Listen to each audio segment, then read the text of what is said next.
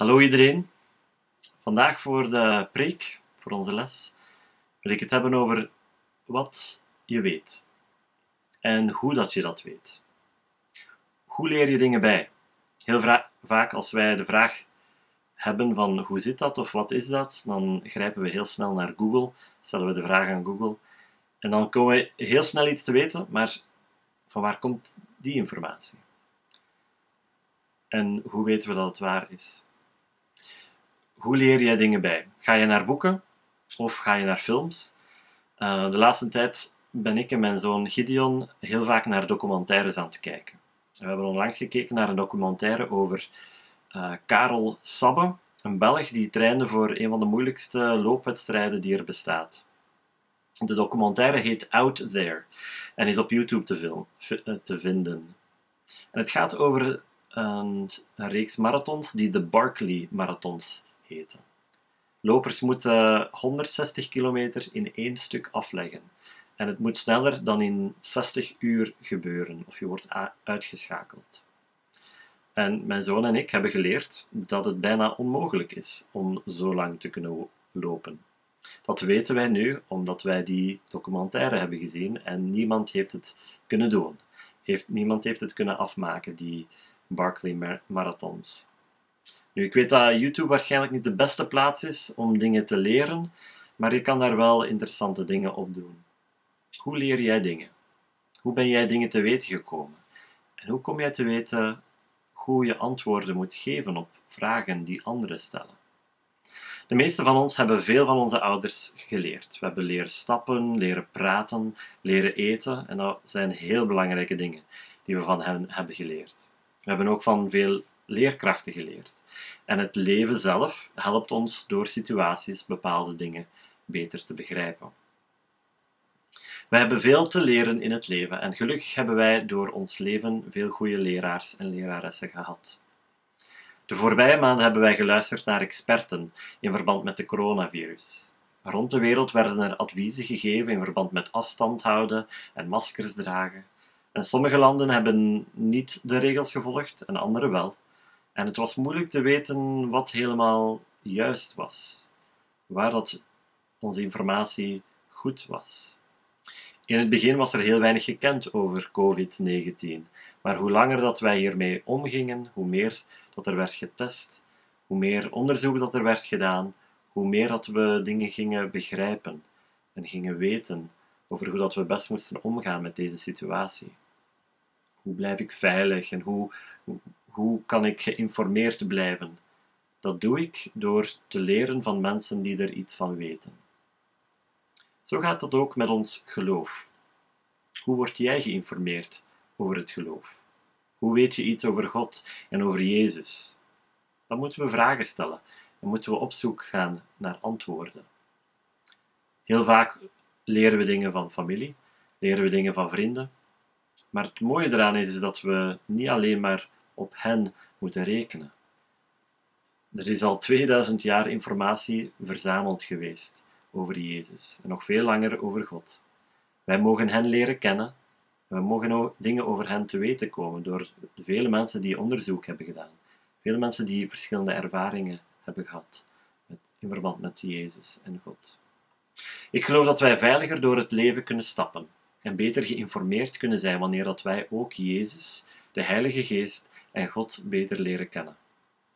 In de komende weken wil ik gaan kijken in mijn lessen over wat wij over Jezus echt kunnen weten.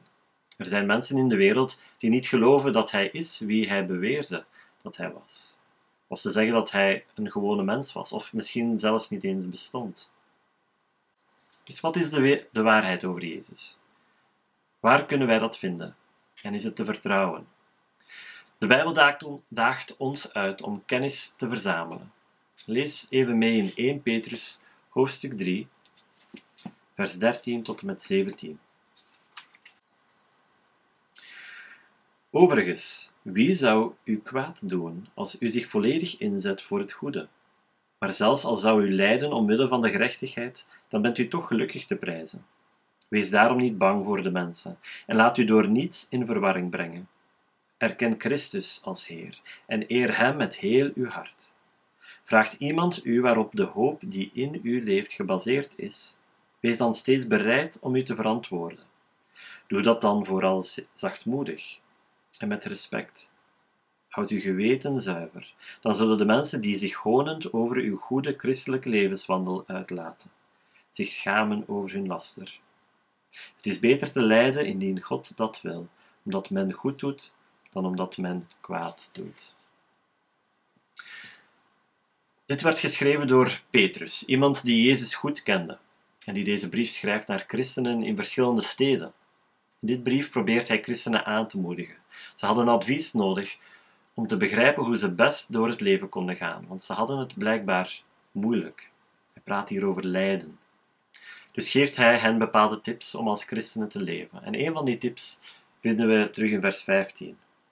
Daar staat: Erken Christus als Heer en eer Hem met heel uw hart. Vraagt iemand waarop de hoop die in u leeft gebaseerd is. Wees dan steeds bereid om u te verantwoorden. In een andere vertaling staat het zo: geef altijd antwoord als iemand je daar iets over vraagt. Hoe ga jij uw hoop uitleggen aan anderen? Wat geeft jouw hoop? Wie geeft jouw hoop? Hoe zou je daarop antwoorden? Voor mij is Jezus een troost. Voor mij is Jezus mijn hoop. Dat zie ik in de antwoorden dat Hij geeft op de vele vragen die wij stellen, die ik stel, en voor de momenten van lijden die ik heb. Hij legt het uit. Hij geeft de reden daarvoor. Wanneer ik teleurgesteld ben, dan kan ik praten met Jezus, of over Hem gaan lezen, en Hij gaat mij nooit teleurstellen in hetgeen dat Hij voor ons heeft gedaan als mensen. Maar hoe weet ik dat? Veel mensen twijfelen vandaag over Jezus. Bestond hij wel? Wat weten wij over hem? En is dat wel te vertrouwen? Die, die woorden die 2000 jaar geleden werden geschreven, zijn die wel goed gekopieerd en goed vertaald? Ik geloof van wel. En dat komt door veel verschillende puzzelstukjes of stukken bewijs die ik over de jaren heen heb verzameld en heb gezien en heb gelezen. In de komende weken wil ik jullie vertellen wat wij weten over Jezus, wat wij weten over zijn volgelingen en wat wij weten over Jezus door de kerkvaders. En als je niet weet wie dat de kerkvaders zijn, dat zijn gewoon een groep wijze gasten die veel over geloof wisten in de geboortejaren van, van het christendom. Maar ja, dat zijn allemaal christenen. En dus hebben zij misschien een verkleurd beeld. Ik denk wel dat ze ervan uitgingen dat het christen zijn goed was maar dat betekent niet dat ze leugens hebben verkocht. Ik hoop dat je van geschiedenis houdt, want daar gaan wij ons nu even in verdiepen. Het is fascinerend wat we allemaal te weten kunnen komen van de mensen die noteerden wat er in de tijd van Jezus gebeurde. En wij gaan beginnen met niet-christelijke bronnen. De eerste schrijver die ik wil aanhalen is Cornelius Tacitus. Hij is een heel bekende Romeinse historicus die in 56 na Christus werd geboren. Hij schreef in totaal 32 boeken over de geschiedenis en hoe dat de Romeinen omgingen met de Germanen en met de Britten. En hij schrijft soms over dingen die 40 jaar zelfs voor zijn geboorte gebeuren. Dus weten wij dat hij een reeks bronnen gebruikte om zijn boeken te schrijven. Hij schreef over de grote brand in Rome, die veel van de stad verwoest heeft in, in het jaar 64 na Christus. Hij weet te vertellen dat de keizer Nero, die een beetje gek geworden was, en, verantwoordelijk, en die eigenlijk verantwoordelijk was voor de brand, de christenen als zondebok wou gebruiken. En dit is wat Tacitus schreef in zijn boek, die in het Latijns Annales heet, of gewoon jaarboeken. Hij schreef: Derhalve heeft Nero, om dit gerucht radicaal uit de weg te ruimen, schuldige, schuldigen verzonnen en met de meest geraffineerde straffen laten boeten. Dat waren degenen die gehaat om hun schanddaden het volk christenen noemden. De man aan wie deze naam ontleend is, Christus, was onder de regering van Tiberius door de landvoogd Pontius Pilatus ter dood gebracht. En hoewel dit verwerpelijke bijgeloof voor het moment onderdrukt was, stak het toch weer de kop op. Niet alleen in Judea, de bakermat van dit kwaad, maar ook in de stad, waarheen nu eenmaal van alle kanten alle afschuwelijks of schaamteloosheid bijeenkomt en in ere gehouden wordt. Zodoende zijn eerst degenen die er vooruit kwamen gevangen genomen, vervolgens op hun aanwijzingen een zeer grote menigte die in staat van beschuldiging gesteld werd, niet zozeer aan het aanstichten van de brand, als wel aan haat jegens de mensheid. En men bespotte hen bij hun dood door ze bekleed met de huiden van wilde dieren om te laten komen, verscheurd door honden of aan het kruis genageld, ofwel moesten ze, voor de vuurdood bestemd, bij het vallen van de avond dienen tot verlichting bij nacht. Wat leren wij dus van Tacitus? Wat weten wij van deze geschiedschrijver? Ik wil een paar dingen opsommen of, of samenvatten. Hij haalt een groep mensen aan in Rome die christenen heten. En hij schrijft dat Nero hen beschuldigt van brandstichting. En dus moeten ze boeten als groep. De groep is groot genoeg om gekend te zijn en om te gebruiken als zondebok. En dit komt overeen met wat er in de Bijbel staat, waar dat Jezus een opdracht geeft aan zijn discipelen om het evangelie niet alleen in Jeruzalem te geven of uit te delen, maar in de rest van de wereld te gaan. Dus gaan ze helemaal tot in Rome en zelfs voorbij.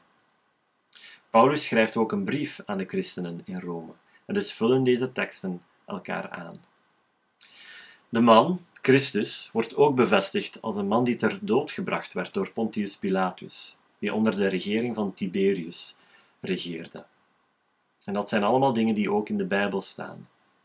En dat dit allemaal voorkwam in de regio van Judea.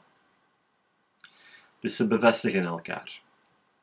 Wij weten dat de schrijver niet onder de indruk is van de christenen. Hij zegt dat de christenen gehaat zijn vanwege hun schanddaden, dat ze verwerpelijke bijgeloof hebben en afschuwelijk zijn. En het is een beetje moeilijk te achterhalen waarom dat hij zo hard uithaalt tegen de christenen, behalve dat hij een Romeinse schrijver is, die de Romeinse goden wil eren. En het vereren van Christus zou voor hem zeker een schande zijn. Uit deze tekst blijkt ook dat het niet gemakkelijk was om christen te zijn in Rome. Ze worden vals beschuldigd, bespot, verscheurd door dieren, aan kruisen gehangen en verbrand. Het is geen mooi tafereel en geeft een idee hoe gemakkelijk, hoe, dat, hoe gemakkelijk dat wij het hebben vandaag.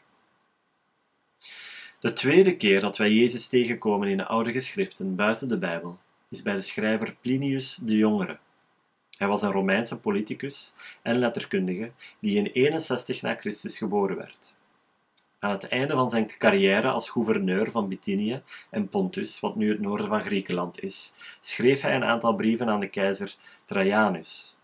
In een van die brieven kaart hij problemen aan in verband met een groep mensen die christenen heten en vraagt voor advies over hoe hij met hen moet omgaan. Hij schrijft: het is gebruikelijk voor mij, Heer, alles waarover ik twijfel, bij u te melden.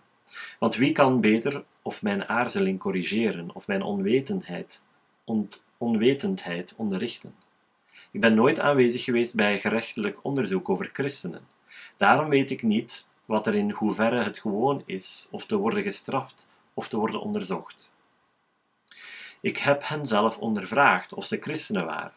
De bekendenden hebben heb ik een tweede en derde keer ondervraagd, dreigend met de doodstraf.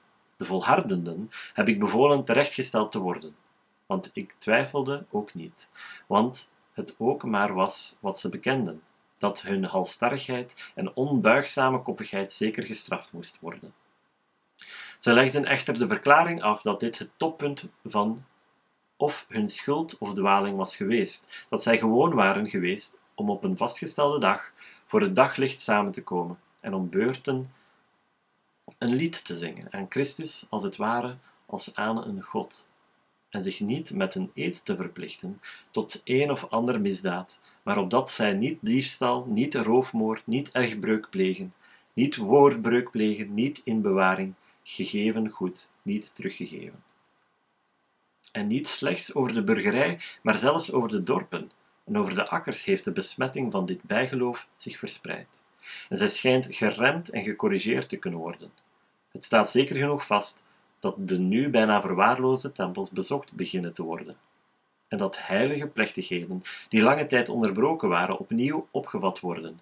En dat het vlees van offerdieren, waarvan er tot nu toe een, zeld, een zeer zeldzame koper gevonden werd, verspreid verkocht wordt. Van Plinius weten we dus nog altijd een aantal dingen over de christenen. Hier zijn een aantal dingen die ik wil aanhalen. Er zijn veel christenen in deze regio blijkbaar. Er zijn genoeg om een brief met advies te vragen en te schrijven over hoe dat hij ze moest straffen. Er zijn genoeg gelovigen dat hij een hen een besmetting noemt, dat de burgerij, dorpen en over de akkers te vinden is. Hij vertelt dat de tempels voor Romeinse goden verwaarloosd werden, maar nu dat de christenen gestraft werden, dat de tempels weer wat animo hebben. Dit komt overeen met wat er in de Bijbel geschreven staat in Handeling hoofdstuk 19. Daar lezen we over de stad Efeze, waar er een grote menigte in oproer komt, omdat ze hun inkomsten gaan verliezen, omdat mensen geen beelden van um, Artemis en de tempel van Artemis zouden kopen, omdat de mensen in die streek Paulus hadden horen preken dat God niet gemaakt is door mensenhanden. Dus waren ze niet blij. En dat komt overeen met hetgeen dat er hier ook wordt geschreven over de christenen. Van Plinius leren wij ook een beetje over de karakter van de christenen. Blijkbaar zijn ze ook koppig. Hij noemt ze halstarrig en onbuigzaam. Maar er zijn ook die na bedreiging de Romeinse goden gaan vereren. Wij leren wat de christenen doen. Ze komen samen op een vastgestelde dag, voor het daglicht, en zingen tot Christus als het ware een God. Vanaf het prille begin wordt Jezus aanbeden als tot een God. Ze verplichten elkaar en leggen een eed af om niet te stelen, moorden of liegen, maar wel om trouw te zijn en eerlijk te zijn. Dat is wat niet-christelijke schrijvers over de gelovigen van toen schreven. Er is nog een derde schrijver die ik wil aanhalen. Zijn naam is Titus Flavius Josephus. Hij is een Joodse historicus die in 37 of 38 na Christus geboren werd. Hij was een commandant in Galilea, maar werd dan gevangen genomen door de Romeinen en naar Rome gebracht en werd daar geschiedschrijver. Er is een zeer bekende tekst waar dat hij Jezus noemt, waar mensen denken dat eraan gesleuteld werd en vervalst is door de kopieerders. Maar ik wil een andere tekst aanhalen waar er volgens onderzoekers geen veranderingen in aangebracht werden. Het wat heet de Joodse oudheden, 20.200. Daar staat, omdat Ananus, een Joodse hoge priester, dus een dergelijk karakter had, meende hij dat er zich een geschikte gelegenheid voordeed. Want Festus was dood en Albinus nog onderweg, en riep hij de Hoge Raad van rechters bijeen, en liet voor hen de broer van Jezus, die Christus werd genoemd, wiens naam Jacobus was, en een aantal anderen voorgeleiden. Nadat hij hen had aangeklaagd als overtreders van de wet, liet hij hen door steniging ter dood brengen. Wij weten van het Nieuwe Testament dat Jezus een broer had die Jacobus heet. Jacobus gelooft eerst niet dat zijn broer Jezus de Messias is, maar in Handelingen 15 en in Gelaten 1 zien wij dat Jacobus een leider geworden is onder de christenen in Jeruzalem. De schrijver Josephus laat ons hier zien dat na jaren van het groeien van het christelijk geloof zelfs de broer van Jezus nog altijd gelovig is en zelfs ter dood veroordeeld wordt in Jeruzalem. Waarom? Omdat hij een overtreder is van de wet. Welke wet? Dat weten wij niet. Maar het geloof in Jezus was reden genoeg om gestenigd te worden volgens de Joden. Met deze drie schrijvers weten wij al heel veel over Jezus en over christenen. En wij zijn nog niet eens begonnen aan de boeken die wel over Jezus zijn leven praten, die door christenen geschreven werd. Dit zijn drie puzzelstukken die ons geloof in een historische Jezus kunnen versterken. Ik hoop in de komende weken nog veel puzzelstukken te kunnen meegeven, die allemaal samenpassen om een vertrouwelijk geheel te vormen. Vragen hebben en onzeker zijn over dingen die 2000 jaar geleden gebeurd zijn, is logisch. Maar ik denk dat wij een overvloed aan puzzelstukken hebben die ons vertrouwen kunnen doen bouwen, doen groeien. We hebben gelezen over Romeinse schrijvers. Ik wil ook even lezen over een Romeinse officier die Jezus opzoekt, die vermeld staat in de Bijbel. Die komen we tegen in Matthäus hoofdstuk 8, vers 5 tot en met 10. Daar staat: Toen hij Cafarnaum binnenging, kwam er een centurio naar hem toe, die hem om hulp smeekte. Heer, zei hij, mijn slaaf ligt thuis verlamd op bed en lijdt hevige pijn. Jezus antwoordde hem, ik zal meegaan en hem genezen. Daarop zei de centurio, Heer, ik ben het niet waard dat u onder mijn dak komt. U hoeft alleen maar te spreken en mijn slaaf zal genezen. Ook ik ben iemand die onder andermans gezag staat en zelf weer soldaten onder zich heeft. En als ik tegen een soldaat zeg, ga, dan gaat hij. En tegen een andere, kom, dan komt hij. En als ik tegen mijn dienaar zeg, doe dit, dan doet hij het. Toen Jezus dit hoorde, verbaasde hij zich. En hij zei tegen degenen die hem volgden, ik verzeker jullie, bij niemand in Israël heb ik nog zo'n groot geloof gevonden. Het kan zijn dat jij niet zoveel geloof hebt als deze man. dat is niet erg. Jezus ging hem helpen, nog voordat hij wist dat hij zoveel vertrouwen had. Jezus vraagt aan ons om hem te vertrouwen, om zijn kracht te zien en te ervaren. Hij toont ons keer op keer in zijn leven dat hij te vertrouwen is, door zijn woorden en zijn daden. In dit verhaal wordt de slaaf genezen voordat de Romeinse officier naar huis gaat. En in ons verhaal kan Jezus ook vandaag genezing en hulp brengen. En dat geeft hoop. Mijn uitdaging voor jullie deze week is door deze vraag te stellen. Leef ik met hoop? Welk hoop gebruik ik in mijn leven? Ik wil dat jullie het niet alleen maar erover nadenken, maar het ook zeggen. Ik wil deze vraag stellen. Welk antwoord zou je geven als iemand jou vraagt over jouw geloof? Wanneer dat wij die dingen uitspreken, dan leren wij zelf wat wij nog niet hebben kunnen verwoorden. Geef een naam aan uw hoop en vertel het aan anderen. Stel jezelf vandaag de vraag: waarom geloof ik?